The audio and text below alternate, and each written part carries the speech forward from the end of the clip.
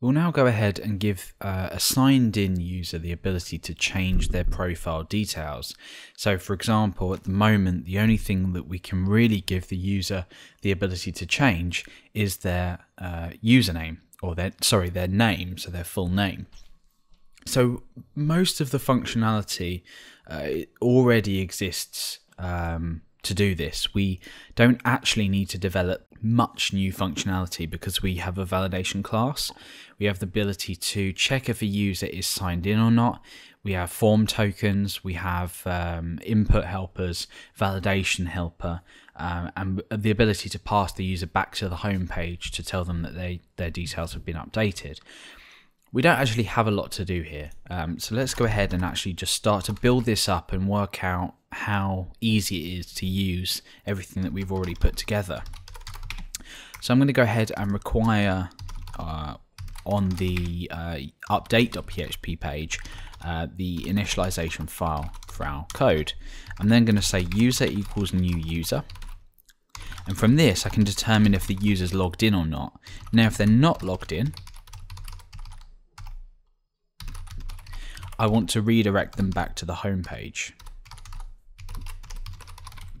I could even redirect them to a 404 page, um, but that's probably not very helpful.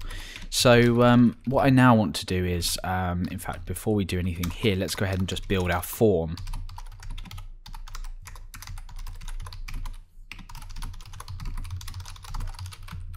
So our method, as usual, is going to be post, and uh, inside here all we're really going to allow the user to update at the moment is their uh, their name.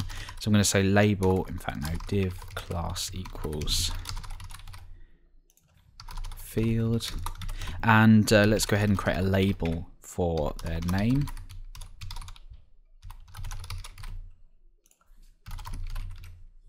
Uh, this will just be name. And then input for their name as well. So that's obviously going to be text. The name is going to be just name, um, and the value here is going to be their current name. So we want to we want to put this in here as well. Obviously, we want to escape it. Escape, escape, using uh, the function that we've already created, and we want to grab the data, and we want to grab their name. Okay, so uh, we obviously need an input field here. And we want the value of this just to be update. And we also want a token as well. We've already looked at token functionality. So the value here is just going to be echo token generate. Lovely. So let's go ahead and preview this in our browser. In fact, let's create a link here to just you know give give it the ability for the user to click this. Uh, it just makes a little more sense. So let's just duplicate this, and we'll just say update details or something, and this will be update.php. So now that we're on the home page and we are signed in, we click update details and we get this page here, the ability to enter a name and uh, and also update. So we click update and that that data is submitted. So um, now that we have uh, our form created, we can start to check whether we have any input. We can check whether the token exists, uh, if that's if that's a correct token or not, to prevent uh, cross-site request forgery. So we're going to say if input exists, then what do we want to do? Well, we want to check if the token that's been supplied uh, is the same, or we want to check that's the same as the session. So we have a, uh, a method to do that, and we pass in input get token. Um, if that's the case, then cool, we'll just echo out OK for now, just so we can see that this has worked. So let's go and update. Okay, so perfect we uh, we know that that's worked. So now we want to go ahead and validate stuff, and this is really important because we want to validate it to the same standard as we validated it as we register a, a user. So we want to say validate equals new validate, and we want to say validation equals validate check. Now we want to check the post data and we have an array of rules as we already know and we only have one field here so let's say name And we obviously need to define whether it's required, which is true because we required it for registration. So why wouldn't we require it for an update? We want a minimum value, which was 2, and we want a maximum value, which was 50. And that's it. So we then check if the validation has passed. Uh, so if validation passed, we want to go ahead and update. Otherwise, we want to loop through the errors that were returned. So for each validation errors as error, we want to echo out the error and append on line break. So it's functionality that we've already built, we know exists in our application, so we don't need to, to worry about it. So if I get rid of this and click update, name is required. If I put my name as A, it says name must be a minimum of two characters. Um, you know, so we, we've included all of this functionality already. It, it you know, it's nothing new to us. We're just using uh, our application as we know that we've built it. So we're going to have a try um, block with a catch. Um, and the reason for this is that we're going to actually throw an exception inside of our user method um, where if this fails, uh, or basically if the database operation fails. So we have an exception here, e, and we want to die e get message. Uh, by the way, I haven't explained this, but this get message method is just part of uh, the exception, um, an exception object in, in PHP. So there's no, there's, this isn't something that we are actually building. Now we're going to introduce a new method on the user object. We've already um, instantiated this. So all we really need to do is pass or call this update method, which we haven't created yet, so we're not to confuse. Um, and with this functionality, we want to pass a list of elements that we want to update and their values. So name is going to be input get name. That's all we need to do. So we've now completed this functionality, but we need to go back now and retrospectively create this update method.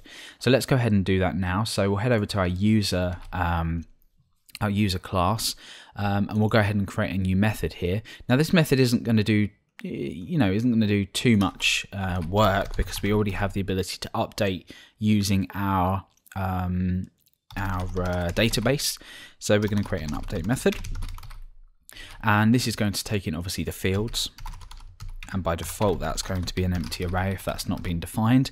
Um, so what we're going to do now is we're going to uh, fill this in, but there's a little caveat here because we we need to um, call the um, update method on the database object. So let's just do that quickly and then see what kind of problem we may potentially face. Um, so I'm going to say if if not this db update users with a specific ID with the fields, uh, then we want to throw a new, not thrown, throw a new exception. And we just want to say there was a problem updating. Okay, so we need to get this ID from somewhere. Um, and what we could do is we could just say um, ID equals this data ID, but um, we want to make sure that this uh, functionality doesn't break if there's there's not an ID available for whatever reason.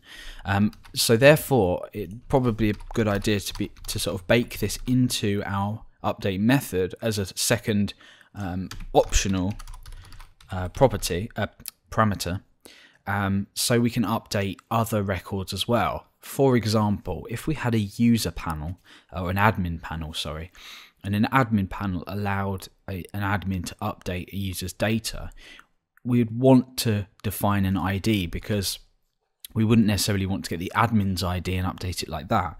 So here what we can do is we can say if there's no ID being defined and this user is logged in, then we want the ID to be this data ID. Now, otherwise, by default, this ID will be um, the, the, ID that we specify. So if we were to say here, update user ID of 4, this block won't run, and then we'll update here with a user ID of 4. Now, if we don't supply this, it will update the current user's um, ID, which is what we want. Uh, otherwise, the functionality would be useful. We're not actually going to include this in, in this application. So um, I'm going to go ahead and change my name to just Alex. I'm going to update this. Um, and it looks like that worked, but obviously we have a few redirection issues there. We'll, we'll deal with them in a moment once we've updated successfully. If we browse here, you can see that my name has been changed to Alex. So the functionality works as we would expect. We've already we already built the database functionality, so there's no reason it wouldn't work. Um, so once we've updated a, a user uh, user's um, information, let's go ahead and session flash home. Your details have been updated, um, and we'll go ahead and we'll redirect, obviously, to the home page. So uh, now what's going to happen is when we update, I'll switch back to Alex Garrett.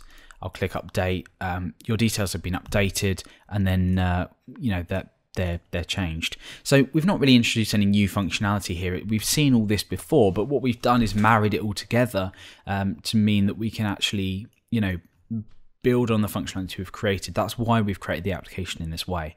So that's basically how uh, you'd update a user's uh, details. If you were to update, say, a name and you wanted to allow uh, more to be updated, you just need to define it in here and in here. That's all we really need to do.